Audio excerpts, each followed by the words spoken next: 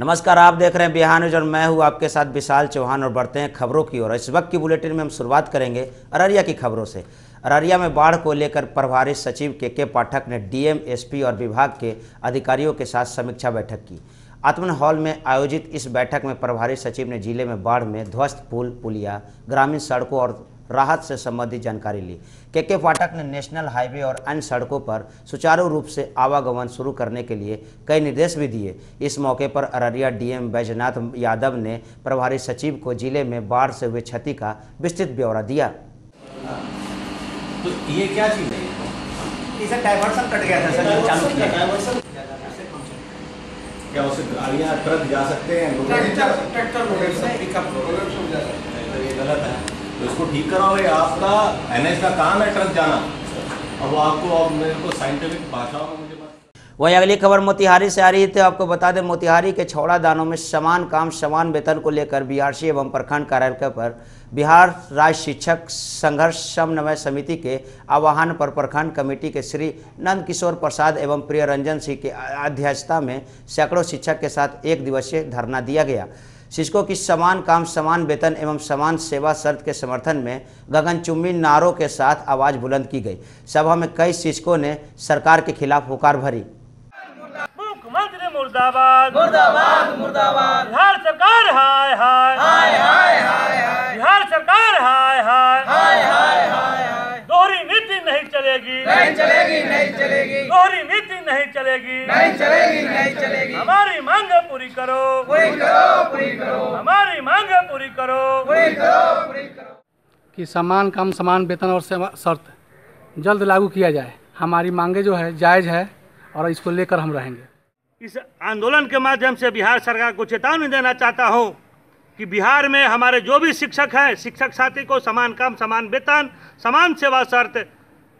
अगर नहीं देते हैं लागू नहीं करते हैं तो मैं बिहार सरकार को अपनी चट्टानी एकता से इस बिहार की गद्दी से हटा कर रहूंगा और हटा कर दम लूंगा मोतिहारी के सुगौली में भारतीय युवा कांग्रेस के बैनर तले बिहार प्रदेश युवा कांग्रेस के महासचिव प्रोफेसर अखिलेश दयाल के नेतृत्व में शहर के चौधरी चरण सिंह गोलंबर कौडिहार चौक पर उन्नाव बलात्कार पीड़ितों के साजिश के तहत मारने के खिलाफ उत्तर प्रदेश के तानाशाही एवं रेपिस्टों को संरक्षण देने वाले मुख्यमंत्री योगी आदित्यनाथ का पुतला दहन किया गया प्रदेश महासचिव ने योगी सरकार पर निशाना साधते हुए कहा कि दो का मामला है सीबीआई जाँच कर रही है और चौंतीस बार पीड़ितों के परिवार वालों के द्वारा उच्चतम न्यायालय के दरवाजे को खटखटाया लेकिन तानाशाही सरकार के आगे न्यायालय भी नतमस्तक है निश्चित नहीं है और ये हिंदू मुस्लिम के झड़े में लगे हुए हैं तीन तलाक के मामले में लगे हुए हैं सबसे पहले देश के जो नेता हैं हमारे यूपी में और देश में जो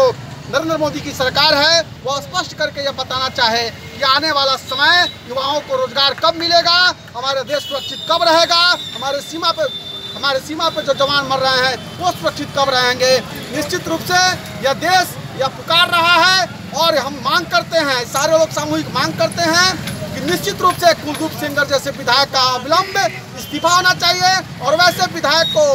फांसी की सजा होनी चाहिए यह हम मांग करते हैं अखिलेश दयाल पाटलिपुत्र विश्वविद्यालय में व्याप्त अराजकता और स्नातक के छात्रों की सीट बढ़ोतरी की मांग को लेकर छात्र जेडीयू नालंदा द्वारा बिहार शरीफ के अस्पताल चौक पर पाटलिपुत्र विश्वविद्यालय के कुलपति डॉक्टर गुलाब चंद जायसवाल का पुतला फूका गया इस मौके पर छात्र जदयू के जिला अध्यक्ष धनजय कुमार ने देव ने कहा कि आज पाटलिपुत्र विश्वविद्यालय में अराजकता का माहौल कायम हो गया है स्नातक में नामांकन व्यापक पैमाने पर धांधली की जा रही है उन्होंने कहा कि बिहार के 20,000 से अधिक छात्र छात्राओं का अभी तक नामांकन नहीं हो रहा है जिसके कारण इन छात्र छात्राओं का भविष्य अधर में लटक गया है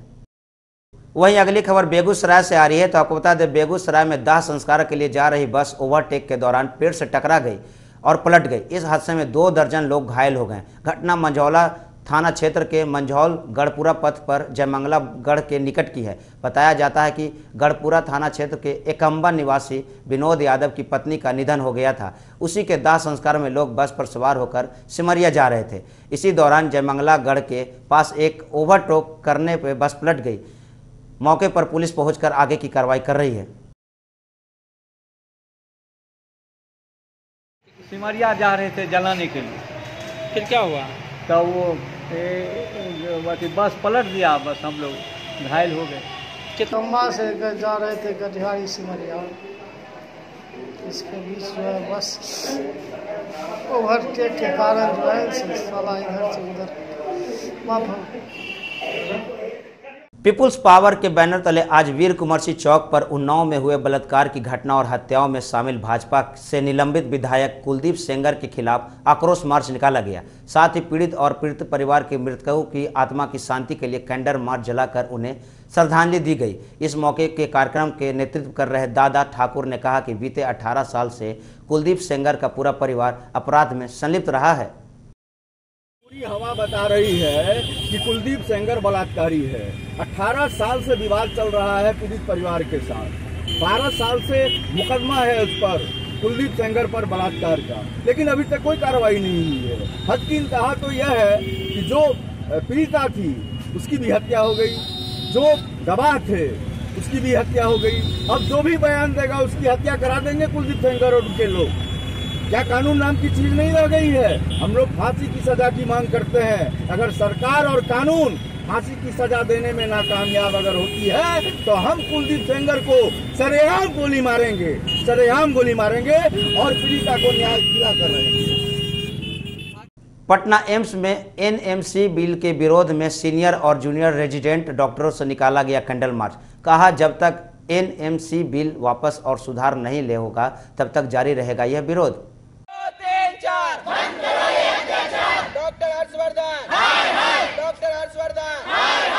वहीं अगली खबर मोतिहारी से आ रही है तो आपको बता दें मोतिहारी के छतौनी थाना क्षेत्र अंतर्गत एडवोकेट लिखा मारुति कार से चौरासी बोतल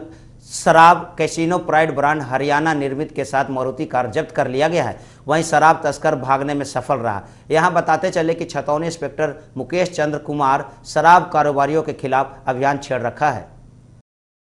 विगत दिन क्रांतिकारियों आजाद मंच के संयोजक दीपक कुशवाहा की मौत ट्रक दुर्घटना में हुई थी जिसको लेकर शुक्रवार के दिन रालोसपा के राष्ट्रीय अध्यक्ष उपेंद्र कुशवाहा ने स्वर्गीय क्रांतिकारी व आज़ाद मंच के संयोजक दीपक कुशवाहा के पैतृक गांव जाकर दक्षिणी घोघा में परिवार के सदस्यों दीपक कुशवाहा परिवार और उनके पिता से मिलकर संतावना दिए साथ ही हर संभव मदद की आश्वासन भी दिया घटना की जांच करवाने की बात कही साथ ही घटनास्थल का भी निरीक्षण किया इस मौके पर महागठबंधन के पूर्व प्रत्याशी ब्रजेश कुमार कुशवाहा ने कहा कि क्रांतिकारी दीपक कुशवाहा की मृत्यु और समय होने के व्यक्तिगत तौर पर मुझे बहुत बड़ी सदमा लगा है एवं पार्टी को एक सच्चा कार्यकर्ता खोने का भी गम है देखिए सूट कर बहुत ही दुख हुआ जिस दिन इनकी मौत हो गई एक्सीडेंट हो गया और अचानक से हम लोगों के बीच से चले गए उस दिन भी पार्टी की मीटिंग थी यहाँ पार्टी के कार्यक्रमों में भी इनकी निरंतर सक्रिय सक्रियता रहती थी समाज के बीच भी काफ़ी पहचान इन्होंने थोड़े दिनों में बना ली थी रात दिन सामाजिक कार्यों में लगे रहते थे आंदोलन में लगे रहते थे उनके आंदोलन का परिणाम हुआ कि इस इलाके में विकास के कई काम हुए तो हर तरह से समाज के लिए जीते थे लेकिन अब अचानक से हम लोग के बीच से चले गए बहुत ही दुखद घटना है इस घटना पे मैं कुछ ही अपनी ओर से पार्टी की ओर से दुख व्यक्त करता हूँ और इस वक्त की बुलेटिन में इतना ही देखते रहें बिहार न्यूज़ मुझे दीजिए इजाज़त नमस्कार